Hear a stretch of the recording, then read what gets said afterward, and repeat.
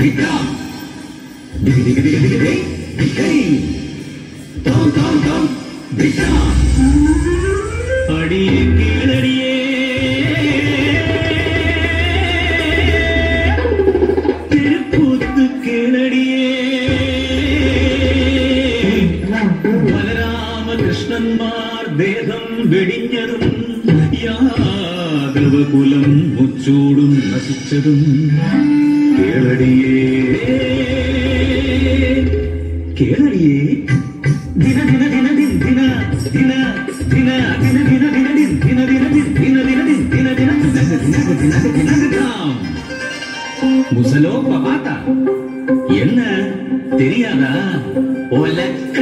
ഇരുമ്പൊലക്ക വീണത്രേ.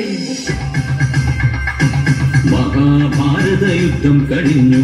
കാലം മുപ്പത്താറാണ്ടു തിരഞ്ഞു. ദ്വാരകപുരിയിലെത്തി മാമുനി വിശ്വാമിത്രനും കണ്വനും മുനിമാരെ കണ്ടപ്പോൾ യാഗവരി ചിലർ പരിഹസിച്ചിടുവാൻ നിനച്ചുകൊണ്ട് പെൺവേഷം കെട്ടിച്ചു. ഗർഭിണിയെ പോലെ സാമ്പനെ മുന്നിലായി കൊണ്ടുചെന്നു.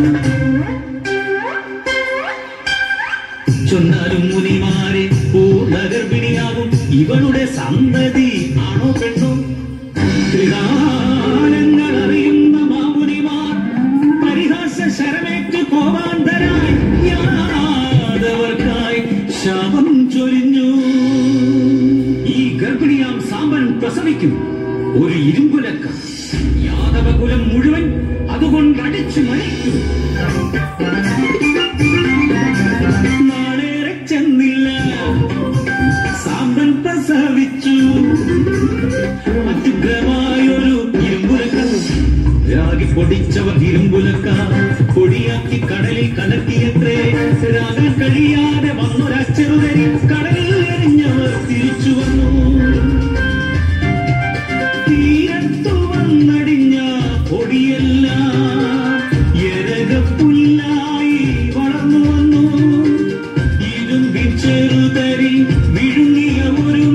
മത്സ്യം ജരയെന്ന വേടന്റെ ചുണ്ടയില. ഇരുമ്പെടുത്ത വേടൻ അമ്പിൻ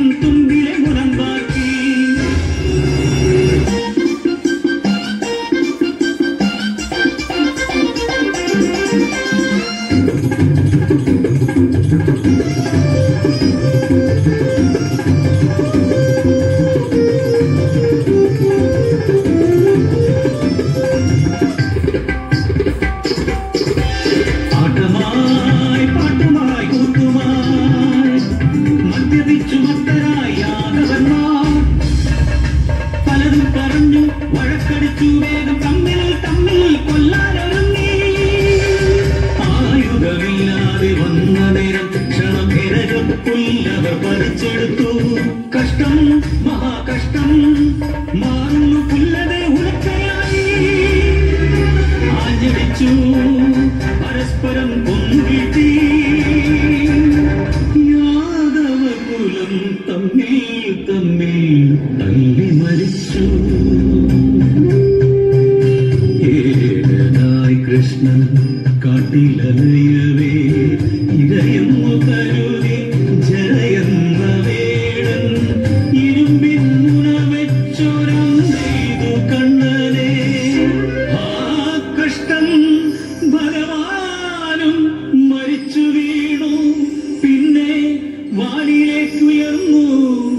லட்சுமியுமா? ஐயா அம்மா அத்தா புரிஞ்சுதா? அதுக்கப்புறம் பாரதபுரி எல்லாம் கடலில் ஆண்டு போய் யாதவரெல்லாம் ரசிச்சு போய் திந்த தக்கிட்டு தனக்கு தக்கிட்டு தனக்கு தக்கிட்டு தனக்கு தக்கிட்டு திந்தா திந்தா திந்தா அத்தாடி அத்தாடி அத்தாடி நான் சொல்லும் கதை கேட்டாயும் இந்த சபையிலே?